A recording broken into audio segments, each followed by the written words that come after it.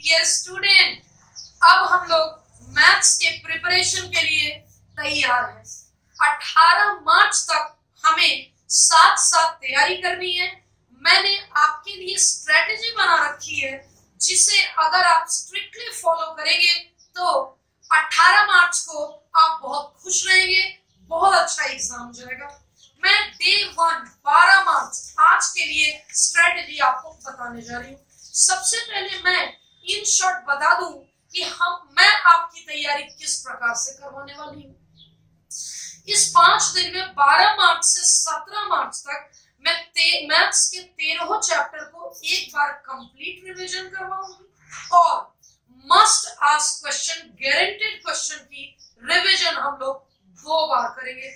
एक बार एग्ज़ाम के जस्ट पहले 17 मार्च को करेंगे और एक बार इस पाँचों दिन में मैंने प्लान बना रखा है उस टॉपिक को डिस्ट्रीब्यूट कर रखा बस ध्यान रहे, हमारा एक भी दिन बर्बाद नहीं होना चाहिए। आप आज का समय मत बर्बाद करिए कि केमिस्ट्री देकर आया हूँ, थोड़ा रिलैक्स हो लेता हूँ। रिलैक्स का टाइम अब हो चुका। अब चार बज रहे हैं और चार बजे से अगर आप पहले वीडियो देख रहे हैं तो आप थोड़ा रिलैक्स कर सकते हैं। चार बजे से आपको अपनी पढ़ाई शुरू करनी है। डे वन हमारा चार बजे से शुरू हो रहा है।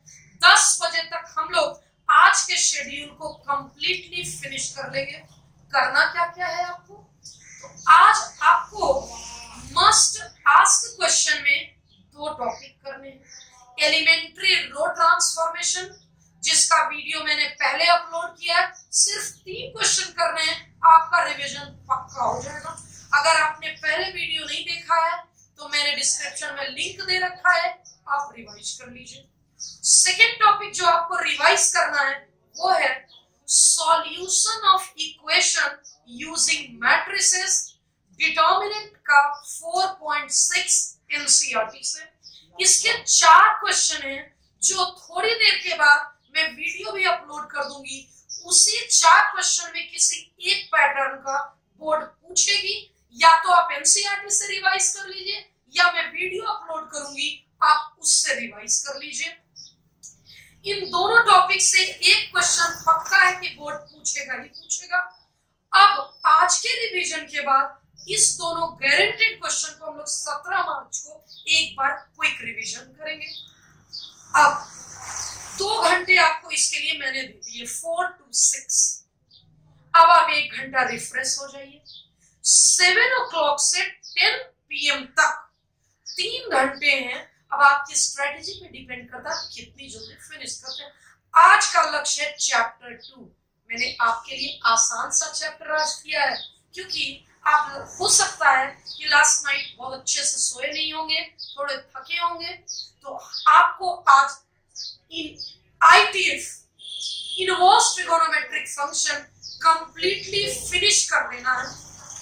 आपको दो घंटे लग सकते हैं, ढाई घंटे लग सकते हैं मैक्सिमम तीन घंटे लग सकते हैं। डिनर आप तभी करेंगे जब आपका आईटीएफ खत्म हो जाएगा। उसके बाद आप आज का शेड्यूल पूरा, आज का वर्क खत्म, हमारा कॉन्फिडेंस लेवल थोड़ा थोड़ा अप होता जाएगा।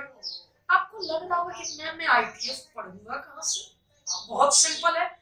आपको एनसीईआरटी से पढ़ना है। एनसीईआरटी के सॉल्व एग्जांपल करने हैं। 2.1 के पीछे के सॉल्व एग्जांपल आप कर लीजिए। 2.2 के पहले के सॉल्व एग्जांपल आप कर लीजिए। मिसलेनियस के पहले के सॉल्व एग्जांपल कर लीजिए। अगर इतना पूरा सॉल्व एग्जांपल कर लेते हैं तो एक्सरसाइज के कुछ कुछ सिलेक्टिव क्वेश्चन कर लीजिए। हो सकता है कि मैं थोड़ी देर बाद तक, मैं थोड़ी देर बाद वीडियो भी अपलोड कर दूँ कि आईटीएफ के रिवीजन में कौन कौन से क्वेश्चन आपको रिवाइज करने हैं। और एक बात आप ध्यान रखिएगा, जब आप आईटीएफ पढ़िएगा तो क्योंकि ये फॉर्मूला बेस्ड चैप्टर है, आप थोड़ा थोड़ा फॉर्मूले भी बनाते जाइएगा, ताकि आपकी फॉर्मूले की लिस्ट तैयार हो जाए, और लास्ट में सत्रह मार्च को हम लोग उसी फॉर्मूले को रिवाइज करने वाले हैं। तो होप कि अब आप को ये टेंशन नहीं होगा कि मैं कैसे इस पाँच दिन को यूटिलाइज करूँ।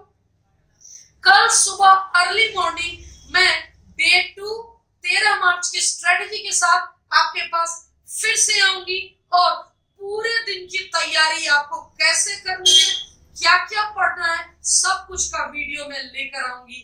तब तक आप पढ़ना शुरू करिए।